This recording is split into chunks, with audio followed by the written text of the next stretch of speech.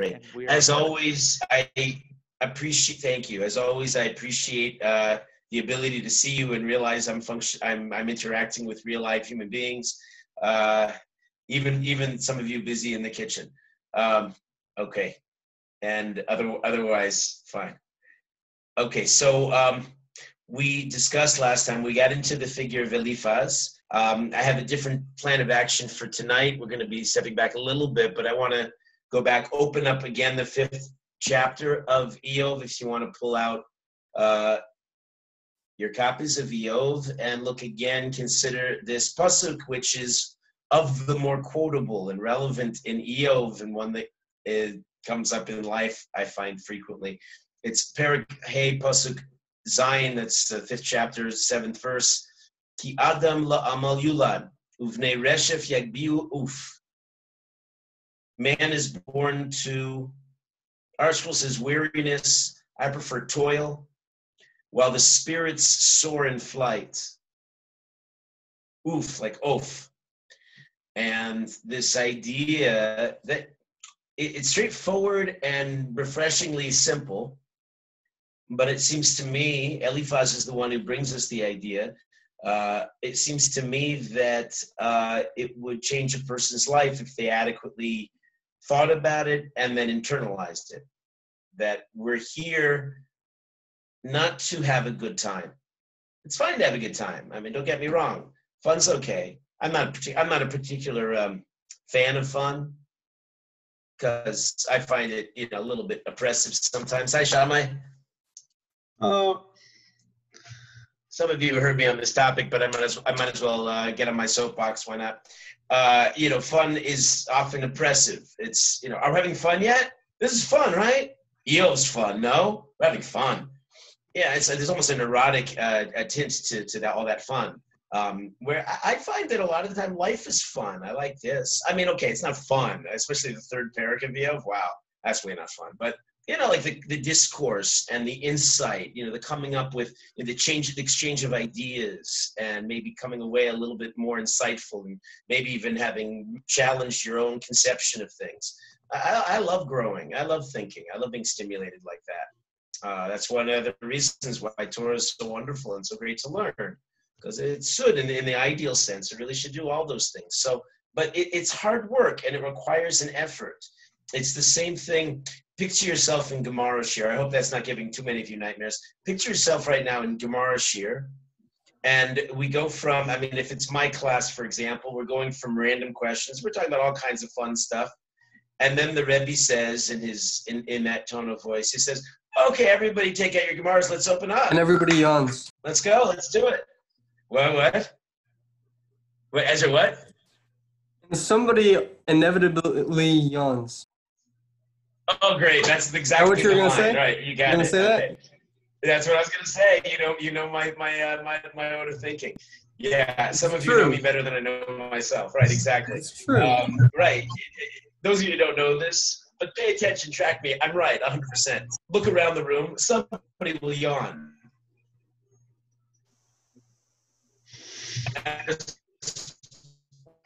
What's going on behind that? Is is connection? Are you are we are we coming through okay? It's a little like on and off. yeah. you broke up there. Yes. Thumbs up. Is it possible somebody upstairs is down is downloading? I'll, I'll be back in a second. And I'm sorry about the interruption. Let me let me uh, look. Actually, the issue would generally be if someone's uploading. I think Zoom uses a lot either way. I think because you have to download all of our platforms as well. Eh, Let's see. Hold on, Look at everyone with their haircuts. There we go. yeah. I apologize. Yeah, yeah. Baruch Hashem, we got a house full of uh, of, of people here, so lots going on. Uh, is okay now? Uh, yeah. Yeah. anyway, let me try to finish the thought because it's it shouldn't be this complicated. It's taking me longer than I realized. Just this idea that anytime you have to put forth any effort, subconsciously, most of that, most of this is not a conscious process. Subconsciously, you just you don't want to. I mean, we're lazy by nature. Right? The Ramchal describes that beautifully too in the Mesilas Yesharim in the Path of the Just. He says, he says by nature we're just it's we're heavy. We're heavy in limbs and heavy in spirit. And in the winter it's too cold outside. And in the summer it's too hot and cozy in the bed right now. I don't want to get up. Right? And that's just that's just good getting up out of bed.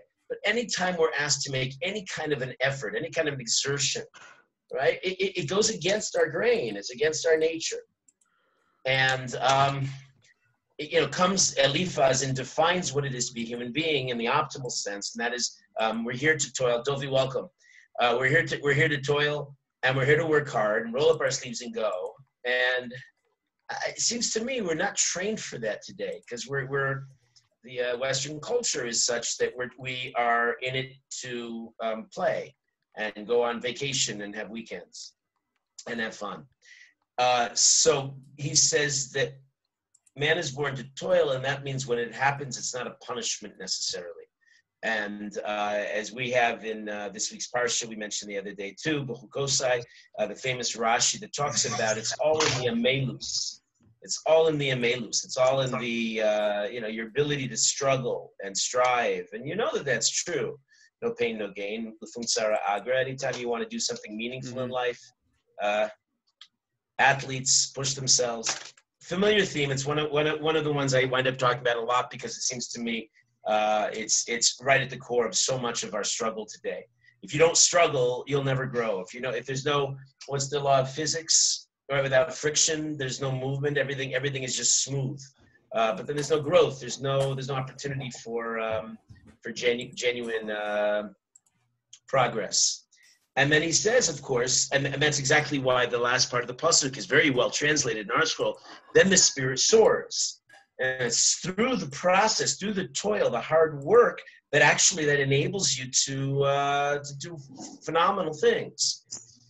And so, if you encounter difficulty in life, uh, embrace it, accept it.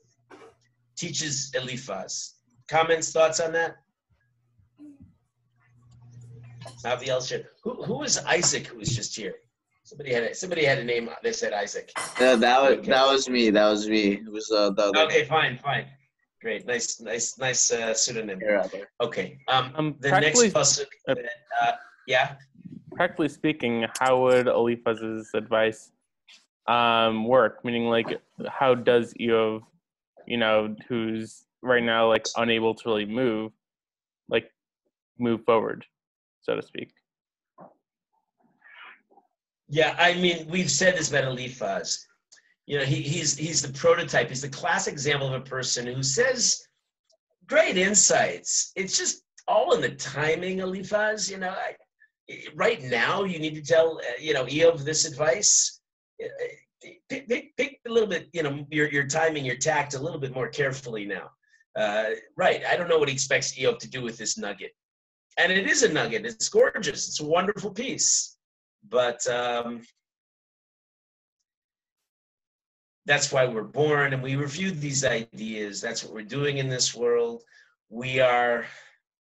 Uh, the the Gemara asks. I don't think we talked about this, but here, here's just something to consider from the Gemara. Um, when we're amel, when we toil, when we struggle, Gemara asks, is that an amelus of the mouth amal b'feh or amal b'malacha? Or is it more, we're more classically inclined to think is that something that we do, we work hard. So it brings a couple psukim. It says, ki achaf alav pihu, means something, it's struggling of the mouth. The mouth is the way we connect with Hashem, we imitate Hashem. It's, it's the expression of our intellect. Uh, and so then we take much more of an intellectual kind of a, a struggle, a pursuit, trying to trying to mold our minds to think with a certain greater finesse and expertise. Um, so then within that, there's the question, is that a melus patira? Is it an amelus specific besicha? What's the difference? They're overlapping. But do you try to toil and learn the most challenging area of Torah when you're when you're when you're struggling, when you're challenging yourself? You remember this distinction between bittul zman and bittul Torah? It's not the only definition, but one of the definitions. Bittul Zman is the guy's just wasting his life, wasting his time. Bittul Torah may be that too, but it also may be something more specific. It may be that he's simply not challenging himself enough. He's doing something that's maybe several notches too easy and not really pushing his mind to its maximum potential. It's not really an omel, somebody who sweats and uh, breaks his teeth in the beis medrash. Um, amelus pasicha, are you, are you particularly careful in the way you speak? You know, do you consider everything? Uh, is, is the Torah always in your mouth? The uh, Yehoshua gets the um, directive, Lo yamush sefer Torah has emipicha.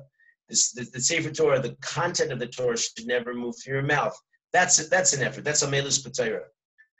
And of course, um, the ultimate image that we get from the in Parshas uh, uh, Chukas, we say Zosa Torah Adam kiyamus ba'ohel. Now, on the surface, the, the simple meaning is we're talking about tumas meis. We're talking about impurity inside of a enclosed structure. But Reish Lakish very famously darshans it and says, This is the Torah, a man should die in a tent, in addition to meaning what it sounds like, that a person dies and then gives over his impurity, his tuma. Um, it means that the tent is the tent of Torah. Oil is often likened to Torah, and a person should quite literally kill himself in the tents of Torah. He should he should put put forth great effort, great amelus. And uh, Reish Lakish, by the way, did. That's what that's after he accepted in that famous Gemara and Baba Metzia, accepted the challenge. He's going to learn Torah, and then he didn't stop. And the man was a madman in that sense, and he would night and day, and he'd go at it, and uh, and it's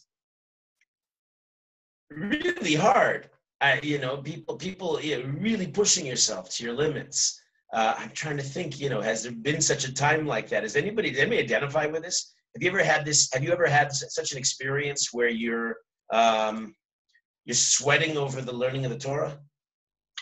Am I, is, am I mistaken? Ezra, you're the only one from your year right here, right now. Uh, Ari Schwimmer said he might come. Um, but Ezra, can you hear me, Ezra Schwartz? Yeah, great. So you guys, I wasn't there. I, I, I, am jealous, but I, I recall how you all together, the whole shear, were on fire during Leil Matan Torah, the night of Shavuos. Do you remember your year learning, learning together, um, on, on, all night long and on Torah? You were hazarding our Gemara, Bates. Oh yeah, yeah, yeah. We were in the corner. I yeah, think. yeah.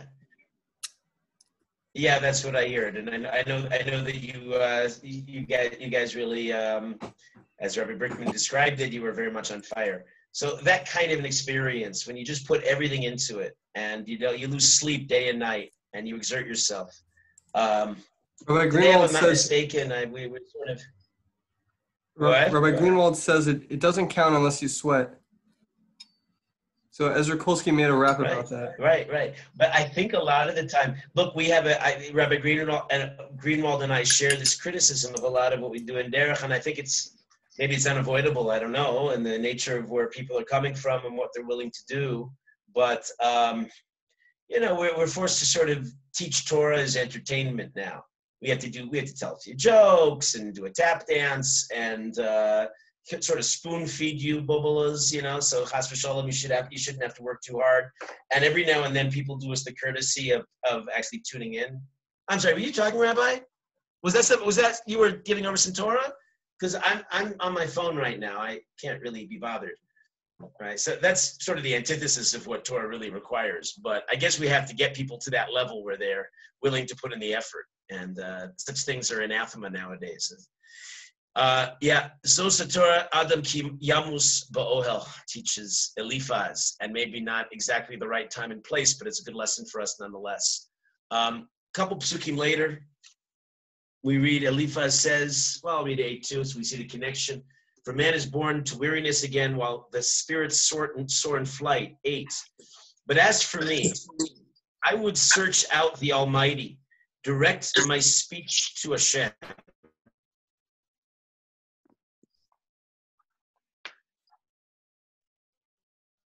Okay, the but is very interesting as he tries to in Torah. Clearly, he's, he's implying, not so subtly, that Iyov should also Uh, he said, he said, you should toil and just seek out Hashem. Um, there's, you know, the word, you know what a good word for this is? How you're, how, you, how Eliphaz is coming through to you. Um, Rebbe, the it's getting very choppy again. There's a glibness. You know the word glib? Thank you. Still? Because I don't. It's hard to hear you. Here. Your audio and video are cutting in and out.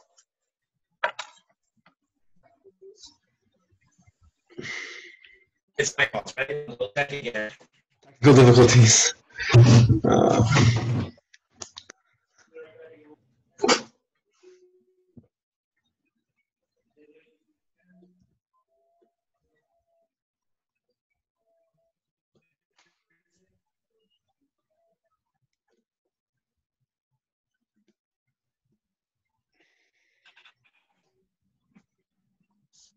Yeah, how we doing? Any better? Sorry. yep, that was good. Okay, uh, we strive for professionalism, don't always reach it. Uh, yeah, glibness. The word glib means overly slick and smooth, and maybe just a, a tad uh, insensitive. Ed, Eden joined at one point. Hi, Eden. Um, yeah, so um, you know that's that's how Eliphaz comes off. Again, trying to emphasize this. Eliphaz is a, a complicated, maybe problematic figure, but he's hard to put in a box.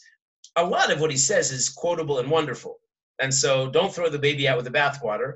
You know, we're we're so far critical of his um, his style of saying things, not necessarily what he's saying. Uh, try to keep that try to keep that distinction in mind. Oh, Aaron Hekmati's here. That's nice. Okay. Um, yeah. So he says now in pasuk nine. Uh, he says, "Who performs great deeds beyond beyond comprehension, wonders beyond num- numbering? Who brings rain upon the earth, sends waters over the open country?"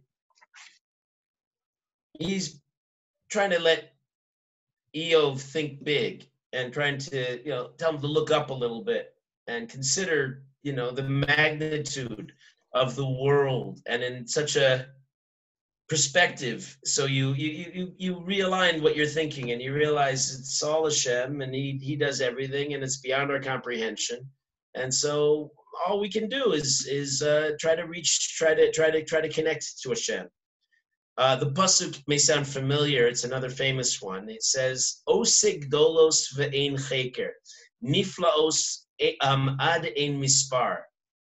I read it in English intentionally. Anybody recognize that Hebrew should I do it again? Um, if you don't recognize it, please be um, duly embarrassed. Osigdolos ve'ein cheker, niflaos ad ein mispar. No, it doesn't ring a bell? Say it in davening, right? We, we, we certainly do. Sounds Yeah. vaguely familiar. I just can't Really? pin it. Just? That's all? That's only vaguely familiar? Yeah. I'm I think almost, I know the I'm, rest I'm, of the I'm considering a cruel trick. Can I give you all homework? Is that in Maariv? and maybe somebody come back tomorrow night with a proper answer of where that's from. Is Unless it in somebody can, can save us right now. Is it in Maariv? Can you repeat it? Well, among other places, yes. Can you repeat it? Sure. One last time. Osa Gedolos ve'ein cheker. It's not quite the same lashon we're used to, but uh, similar enough. Osa Gedolos ve'ein cheker ad ein mispar. He does wonders. Who performs wonders? Great deeds beyond our understanding, beyond our comprehension, wonders beyond number, numbering. In any case, to get to the content of the verse, uh, we learn here that uh, Hashem, Hashem is beyond our understanding. The Gemara in Tainis, in the very beginning, punkt right at the very beginning of Tainis, it talks about Hashem, who's manifest, and we can find him manifested through um, incomprehensible things like rainfall, something that we take for granted, but if we consider it, it's extraordinary. Um, Chazal see it as a kind of birya b'fnei atzmo, right? It's it's almost like another creature rainfall, and it points to. I mean, how does it work exactly? I mean, we know the science. We can break it down. There's, there's cloud pressure. There's evaporation, but um, the fact that it's also calibrated and it works, and we're also dependent on it. You remember the Gemara there also says the famous idea that um, rain was was not one of the original uh, parts of creation in the first week. Why? Uh, so Adam would daven for it. Yeah, very good, Ari. Right. It, there, uh, rain is one of those things that connects us. It bonds us with Hashem. Mhm. We need it to live. Without it, we wouldn't have crops. We wouldn't have uh, food. We wouldn't have life. But Hashem, but Hashem is not about to give it so so uh, so uh, easily. He wants us to be involved. He wants Adam to be alive to uh, daven for us. So only after Adam was properly created was uh, did rain was the possibility of rain brought into the universe. And uh, the whole nature of rain we're meant to consider. I mean again our dependence um, the devastation when it doesn't come but when it is there there's a certain um, gentle sweetness to it as well. And water if you consider it a little little drops of water. Picture like a, a, a- a photograph that just plays with the delicate little drops of water how gentle and, and pure it all looks.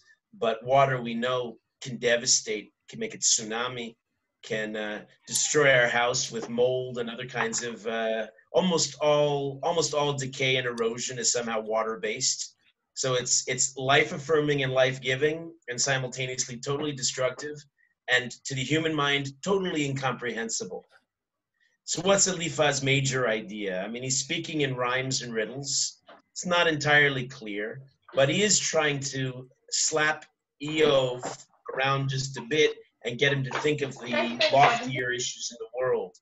Sometimes when you go there, somehow your own personal problems uh, get a whole new perspective. Uh, Eliphaz winds down, plus the parrot goes on. Uh, he has a lot more to say. Eliphaz, will, you'll see, especially if you go through the whole thing, which I encourage you to do, um, is the wordiest of all the friends by far. Uh, he's only outdone by Iyov, who's quite a talker himself. Um, Eliphaz winds down his words. I want to say words of comfort, except they're really not. Uh, he tells in 25, he tells Iyov, You will know that your seed is manifold, your, de- your descendants as the grass of the field. He tells him this. Now, I mean, what kinds of words are these? Iyov just lost his, his descendants we've been talking a lot because it's in Parsha. We talk about the um, Avera of Onus Dvarim. You remember that idea? Onus Dvarim, you're not allowed to do or say anything to cause another Jew um, any pain or sadness. Well, Yeah. what is it? I mean, the, the picture book idea is you're not allowed to uh, ask a childless person, uh, you know, uh, tell them about how your children misbehaved last night. I mean, they'd love to have misbehaving children. They don't have any themselves. And um, Iyov, in an even more extreme situation, had children and they were all lost. And now he tells them, Your descendants, Eliphaz tells them, Your your descendants will be as the grass of the field. Doesn't seem like it. 26, he says, You will go to the grave in ripe old age, as the sheaf is taken in in its time. And then 27, See, all this we have considered it so. Oh, hear it. And as for you, absorb it. I think I've said this phrase before, but it's couldn't be more apt. He's got the subtlety of a sledgehammer, you know. Just take it, What- Eo. Come on, what's your problem, buddy? I mean, Well, okay, so you had 10 kids, they're all dead and no wealth anymore, and, you know, afflictions all over your body, but come on. You'll be fine. You'll get through this. Be just fine. Cheer up. Where are we? we just finished the the, uh, the the end of the fifth chapter, right? And again, the last words are almost too brazen to be real. He says, "Ata dalach." Just get with it, yo. Snap out of it. Yeah. Well, I'm just going to continue reading because Perik um, Vav is all Iyov, and is it ever? Iyov Iyov um, responds and says, "If only my frustration were to be weighed." or they place or or they were to place my trauma in its entirety upon a scale now surely it would outweigh the sands of the seas therefore my words are uttered stammeringly right? Uh, He said, he said, I mean, he's he's he's giving as good as he gets. He's saying, "What are you talking about, you, you insensitive uh, uh, buffoon? You, do you know? You, you have no idea how my suffering is. If you can't weigh it on the scale, he's saying." Okay. Um, this is the tenor of EO. They go back and forth, and it's relatively tame right now. Um, let me let me um, let me introduce now, as to, to hopefully deepen our understanding of what's going on. Something terribly important, and I don't know if this is the standard thing to do in an EO discussion, but I'm trying to do everything non-standard, and, and I'm being creative in my approach. Um, now that we're meeting Eliphaz, and Eliphaz is the most talkative of the friends, we'll soon enough meet Bildad and then Sophar and much later Elihu. What's going on here exactly? Eh, What's the agenda? What's Moshe Rabbeinu or Iyov himself, if he's the author? What are they trying to put across to us? So, uh, and there's a lot going on, and it's arguably the least accessible, the most elusive of books. The Rambam, writing in his most controversial work in the Moreh Nevuchim, which is usually referred to as the Guide to the Perplexed, looks at the book and looks at this part of the book as the center. And it's interesting because the first two chapters and maybe the last few chapters, if anybody learns Iyov, they tend to dwell there because that's where a lot of the interesting narrative takes place. The middle of the book is a lot of uh, discussion and, and, and it's, it's confusing. But the Rambam understands the middle is the essence because the middle is all about suffering. And he describes it and, and, and he says the characters themselves, they may be real figures, they're also prototypes and they represent different views of this idea we've been really talking around so far in all of our sessions together, and that's theodicy, which is usually understood as our perception that uh, the righteous suffer, uh, the wicked prosper, and the world doesn't seem, to our perception, to be, to be quite fair. And uh, this is probably sparked um, I don't know the most, but certainly among the most of topics in the world, the most, uh, the greatest of discussions, the deepest of thoughts, volumes have been written, and uh, the Rambam puts it all in a certain perspective, which I'm going to share in a moment. Uh, I, as those of you are taking notes, it's a good time to get this down. It'll help us approach the rest of the book. Now that we see what the book is going to feel like, I'm not going to go again in the entire. We're not going to do the whole thing inside at least we have a feeling of what's really going on in the middle. Let me just say a couple words. Is the Moreh Nevuchim a known entity? Has anybody here learned it? The Guide to the Perplexed? Has anybody ever opened it? Okay, one, good, fine. Um, Rambam wrote it near the end of his life. His, it, I mentioned it was um, the most controversial by far, even though there were sections of the Mishneh Torah that were plenty controversial as well. When they used to burn the Rambam's book, books, it was the first. Rambam wrote, he later defends himself, and his defenders also explain this that he was speaking to his generation, which was very philosophically inclined. And much like others would do the same, Rav Saadia Gaon had done that earlier. And uh, in, in, in the 19th century, Rav Hirsch would try to speak to his audience in a German uh, tone, an academic kind of a level, to reach them where they were holding. Uh, on some level, every rabbi has to know his audience, know his crowd, and be able to speak a language that they can relate to. And that's really what the Rambam was doing in the Spanish culture in the Golden Age was one of rich intellectual in activity. It was deeply philosophical. And I realize that's a term that's thrown out there a lot. We're not philosophical. We're not really philosophically inclined by a large margin nowadays to the point that I don't even think we really, when we say the word philosophy, I don't think we're thinking about the same thing that they were. Uh, they have a, what, what do you define as philosophy? the like it, it's existential question of, of like why we're he- like talking about things that um that are like debatable, I guess, or Good. I mean, you know, maybe maybe it's something in, in, in Hebrew we use the term hashkafa, your outlook, the way you- your ideas about things. Yeah, I think that's a fair definition. I think that's how many people at least start to think about philosophy. But in in the um, try to picture what was going on, and especially in Spain, but not just in medieval times, um, life was really tough. Spain was better than France or Germany, but it wasn't wasn't a picnic, and so people speculated as an art form, and they could sit around and just have uh, endless discussions, not just why, and not just uh, n- not just on suffering, but virtually every topic was fair game, and they would speculate endlessly, and a lot of the time brilliantly. And it was addicting. So much so that the great rabbis during this period in, in Spain uh, were very, very concerned about it. Many Jews got involved in philosophy, and that was their first step out of Judaism. They assimilated into Spanish culture.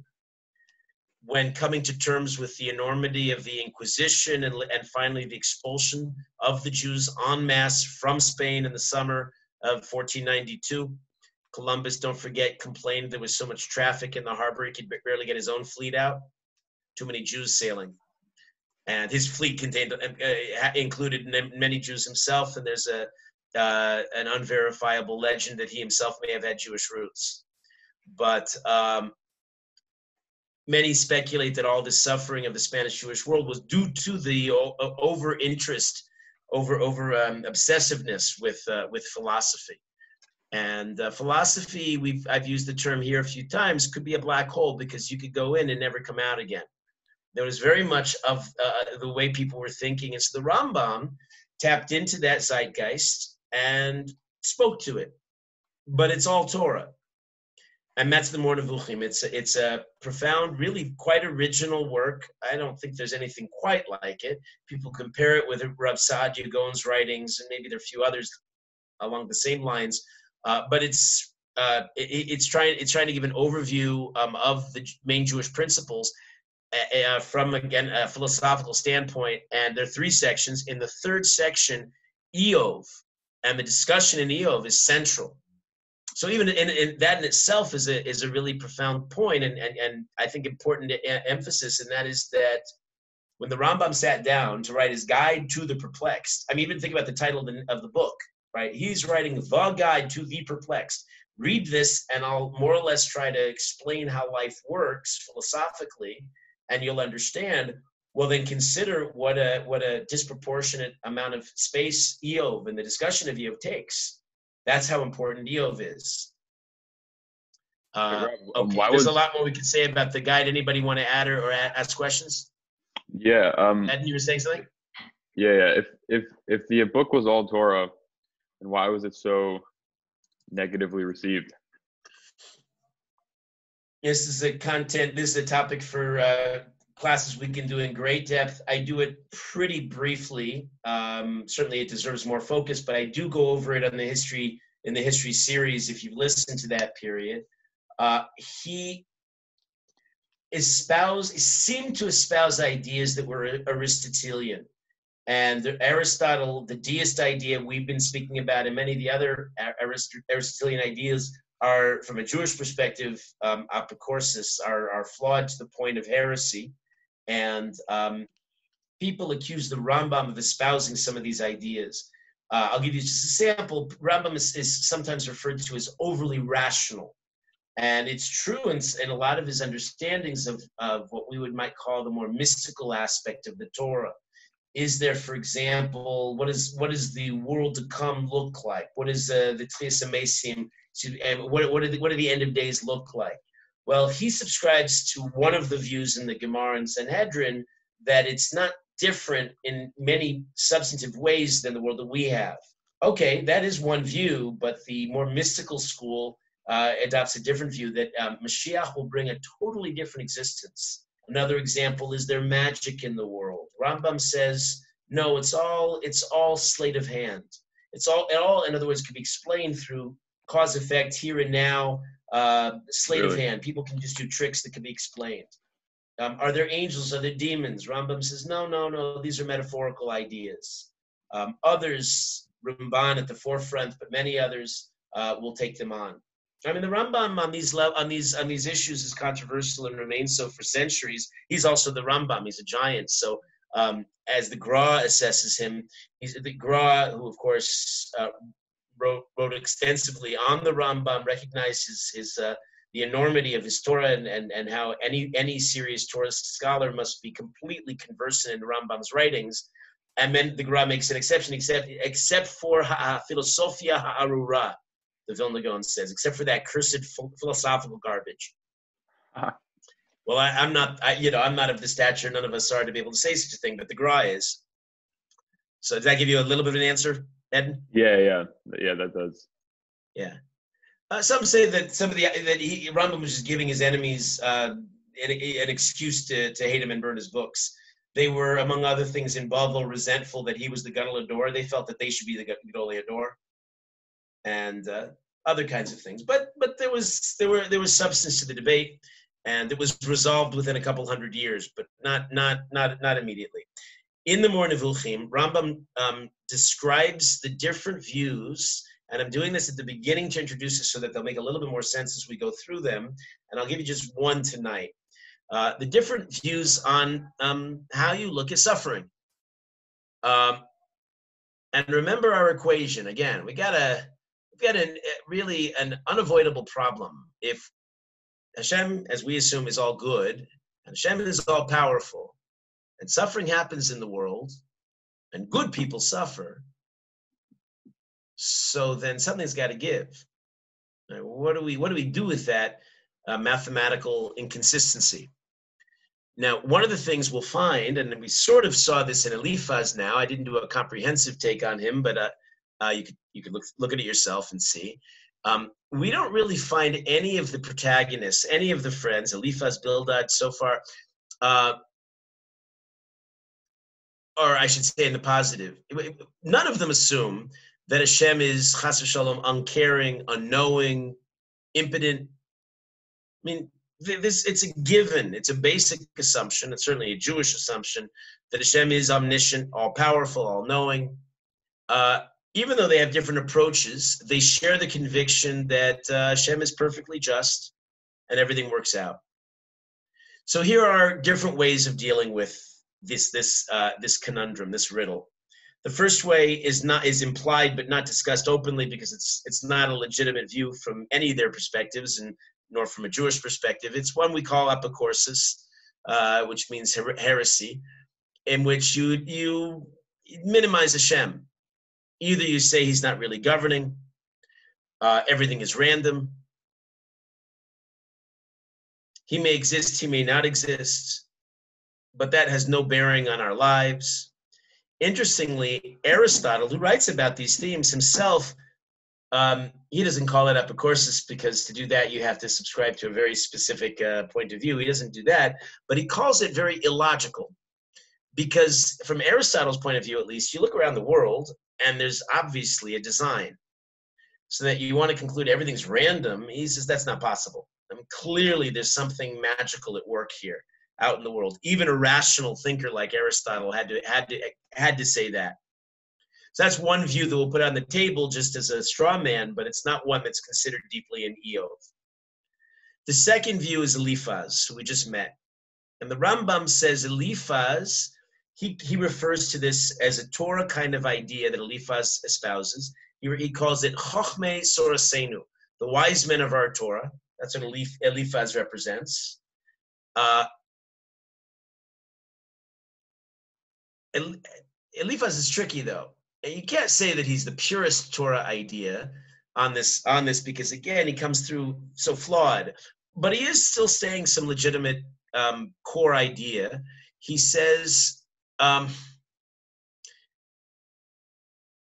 all that transpires, all that happens to a person is determined by that person's actions. Everything that happens happens for a reason, and it all correlates to what we do, how we behave. There's reward, there's punishment, period. That's the way it is. It's a, consider this for a little bit too. It's very stark, uh, refresh, refreshingly accessible and simple approach. It's one that most people in the world today reject with two hands.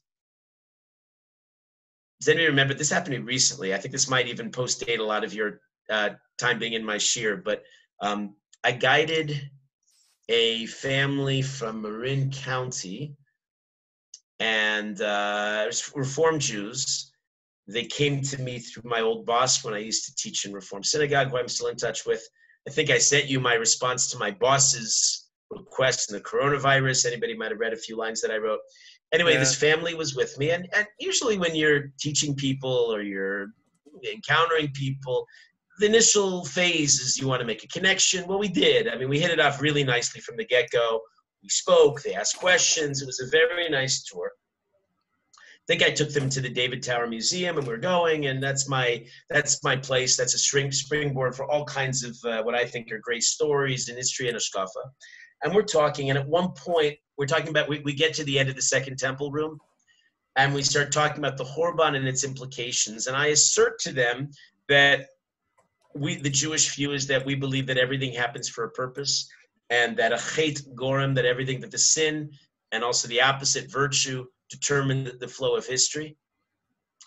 And looking back at it now, I, I I'm pretty sure I saw the man, the father of the family. His eyelids did like a double double flap, and like he just he um I lost him right then and there, and he took me on immediately and for the rest of the day he was hostile. And when he was paying attention, when, when he, you know, only when he was paying attention he was hostile, and otherwise he was just on his phone the whole time. Like I lost him altogether because I asserted this idea that there's accountability and that somehow our fate is in our hands.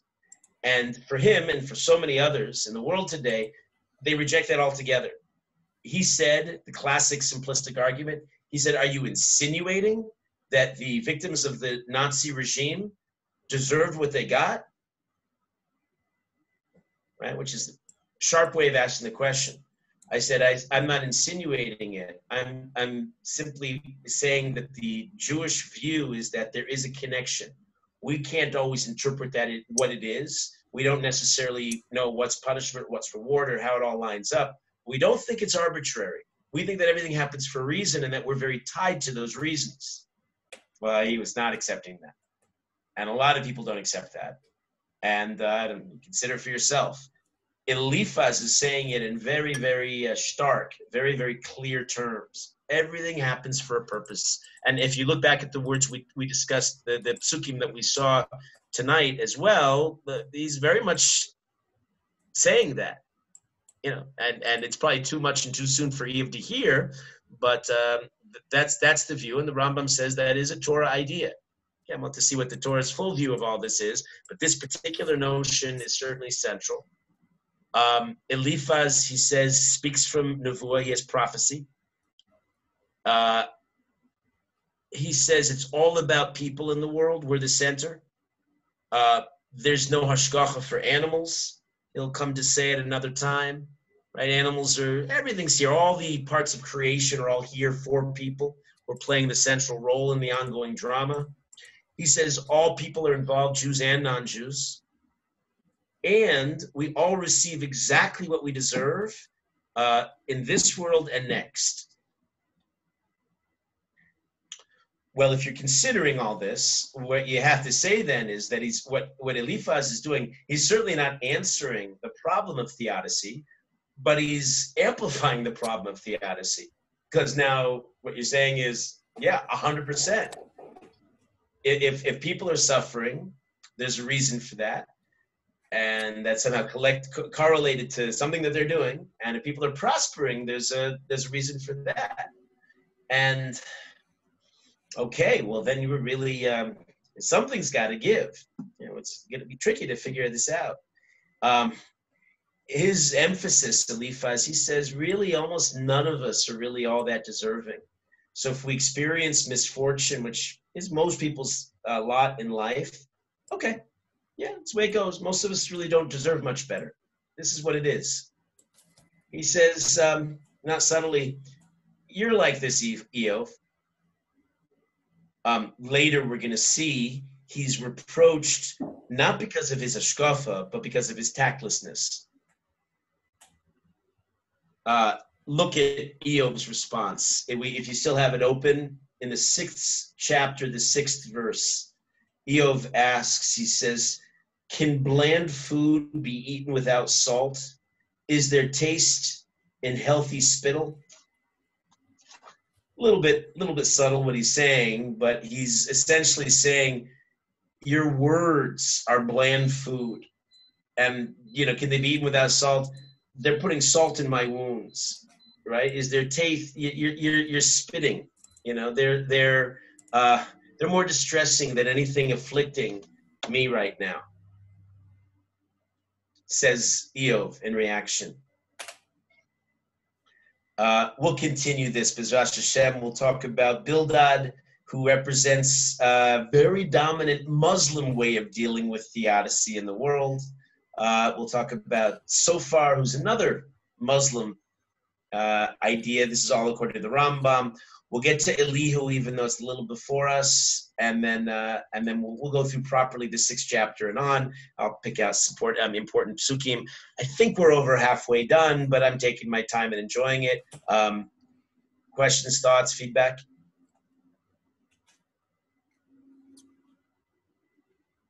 Mm, Wow. yeah, tough Was it tonight a comprehensible? You followed? And we changed gears a little bit. Okay, thanks for that, Shamai. Fine, great. Okay. Uh, tomorrow night we're on as usual, nine o'clock, two Eastern Standard Time, and um, I'll stay. I'll stay online if anybody wants to. Speak. How was the wedding? How was the wedding? Um, Oh, two- well, let me report. Yeah, yeah, it was Yeah. really special. Both weddings. I went. I, I was zoche. I think I might have been the only one who got to both. Um, Wow, nice. Yeah, has have any of you been to a wedding during Corona days? No, no. Yeah, it's Here would quite- be I did illegal. Last year, you know? Last not year. I've really barely been out of our house. here. I mean, I go it's between here and Ohr Somayach and the grocery store. That's that's those are my venues. Well, I, you know, I um, brought a shirt. You know why? Why? Nobody has a clue. brought I a uh, hadn't been to the Kosel in 30 days, so I tore kriah. Oh, Most people wow. rely. Well, you have to tell you, if you haven't been to the Kosel in 30 days, you try kriah. I, I I don't remember last time I haven't been to the Kosel in 30 days. I always go to the Kosel. I'm always I'm always in the old city. But um, no, I haven't been to the Kosel. So I, I initially I brought an extra shirt. Uh, you don't have to tear if you're wearing a nice shirt. You don't have to tear that one. You have to tear something. So I tried to sh- tore the shirt and cried. Uh, I seen the Kosel, and then um, I was I went to Rabbi Brickman's daughter's wedding first. Uh, they have a beautiful place. I Bezras Hashem next Monday night, Eitan Yaakov Greenspan. This will be meaningful to you, um, especially. I hope Bezras Hashem to be in the exact same location at Avram Magrefta's wedding. Wow. On Monday. Yeah, yeah, yeah. I'm he called me yesterday, and I'm thrilled to be able to be a part of it. I don't get to go to most of most of your weddings. You're over there, I'm over here, but this is uh, I'm very excited about that. In our defense, Uh, we haven't had so many weddings yet. I accept I accept the apologies, but you'll get on that case, please, Eitan, quickly. Um, so. He's tried, Rabbi. um, anyway, the, the Brickman wedding was in a very, and uh, the Magarefta wedding as well will be in a gorgeous setting right above. If you can picture, you're coming down from the Arab Shuk, and then um, you enter the Kosel from the, the, the left side and go down. There's a road right where they're checking your bags. There's a road that could take you up towards Aish HaTorah. Right above that road with a spectacular view over Har HaBayis and the coast. Yeah, I saw I saw the live stream. It was really nice. Yeah. Oh, you saw Legend, so you can picture it. Oh, amazing. Yeah, Yeah. yeah. So that Yeah. was it. Um, there were a few of us there. Rabbi Rabbi Raskin was there, and Rabbi, Rabbi Rosen was there, and uh, others came later. Um, and I, wrote Rabbi Brickman afterwards that there was, for me at least, there was a sense of grandeur because obviously you're standing in that place, but also I think in these times, you know, when there's tragedy in the world, maybe it brings you back to something that's a little bit more fundamental about what we're doing in life, kind of, you know, kinds of cosmic questions and perspectives. And a wedding, of course, you know, seeing the first of the Brickman children to have a wedding. And uh, that's very much what we're about the transmission, the next generation. Here we are, we're living in such uh, divine, divinely providential times, and we're part of something. Sometimes we get so immersed in our own lives and activities that we forget this. But being in such an, an event really brings you back to what we're doing and what we're trying to do. I then, after a long, a full day of teaching, I'm teaching every day, all day. Um, exhausted. Uh, but I ran from the old city back to my car near Mea Shearim, and uh, and then drove out to a farm in Mavo Choron, which is, if you can picture it, down at the bottom of Route One. You make a right turn to Latrun, Park Canada, Park Ayalon, and a little bit straight before you get to uh, Kiryat Sefer was the farm where the Greenwald wedding was, and I know my my good friend Rabbi Greenwald was very moved that I was there. Uh, I was the only uh, only one I think who was able to. It's really complicated. It's hard to get around now, you know. So uh, I happen to know everybody. I know the other side really well. I know a bunch of people there. Former um, Derek Rebbe. Um, some of you might remember Rebbe Yirmiyahu Lesson.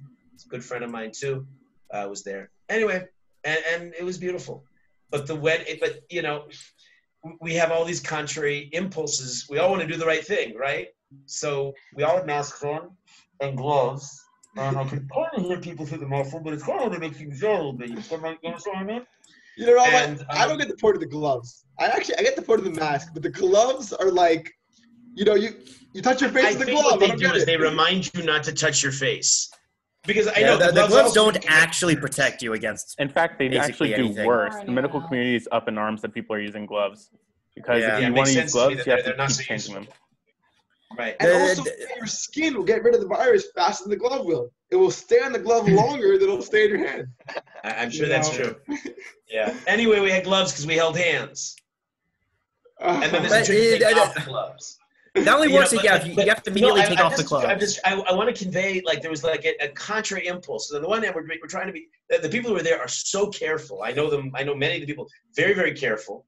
But then immediately the chassan comes out and he's glowing. Shragi, Shragi Greenwald, the second the second oldest son, and he's glowing, and you just ah, you're just so there for him, and like he's dancing, and his friends are there, and you all dance, and so you kind of move forward, and oh no, I shouldn't move forward, and then you come, and then and then everybody starts dancing, and then you Uh. join the circle, and you're thinking maybe this is not such a good idea, but then you you know you're doing that mitzvah, so uh, anyway, we tried. Is there- we tried. is I- there a reason- hopefully, uh, what? Um, Rabbi, is there a reason why like you should not um postpone the wedding? Yeah, Yes. yeah, someone else, yeah, very someone much. Very much. It's it's a halachic and a shkafic imperative. The reason you don't postpone weddings is because then they don't happen sometimes. Oh, okay. So With it's the like there's a vagaries hal- of life and the you know the, the fragile nature of human beings and egos and such. Uh, you know they can call it off, and sometimes that happens. You want the thing to get done. It's like a business deal. I mean, it's sorry to be crude, but there is that aspect of it. It's it's almost like a business deal where you know if you don't close the deal right away, it may not happen. And uh, we are all about the propagation of the species and the people. And we want them to get married. We want them to have babies. We want all that to work out. So we try to we, in halacha, there are all kinds of reasons to, to get you know to move on with the thing. okay. Yeah, yeah. Yeah, but they were they were very memorable affairs, and uh, it's a big simcha to uh, be marrying off our children. It's not a small thing. Yeah. Yeah, should all be zochim someday. Anybody else? Also, anything just going just on? being engaged is hard. Like you wanna, you you, you want to be married. Also, right? Rav Shach said, like Ari's saying. Actually, Ari's saying like Rav Shach said. No offense. Uh, Rav but Shach Rav said Shach two hours, he- right? You should have the shortest engagements possible. Yeah. That's my experience in counseling people too. Engagements are a lot of the obligations and and and and and, and dreary parts of marriage without any of the perks. Yeah, people You are know, engaged have, for you know, years, like a year or two. You know, there's like, oh, we're, this is my fiance. They're just like, oh yeah, no need to get married. Yeah, well, I guess if you're not from, it doesn't make Right, a difference. It's right. difference in being single and married anyway. Yeah, right. living right. together one way or the other. But if Makes you're sense. if you're religious, then you don't. You know, you can get into a fight or misunderstanding, but then you each go to your separate respective homes and you can't work it out. So the potential for explosions or misunderstandings are quite great. Uh, Rav Shach recommended that they see each other as minimally as possible, uh, and uh, get on with the wedding so that you can move on to life already. But Wow. uh, sometimes logistics make that impossible, so you have to Yeah. figure out how to do that properly. Yeah. Thank Yeah. you, Rabbi. All right, great to see you. Have a great night uh, or afternoon, and I'll see you tomorrow. Thank Okay, you. bye. Bye, Tov. Bye, Natil.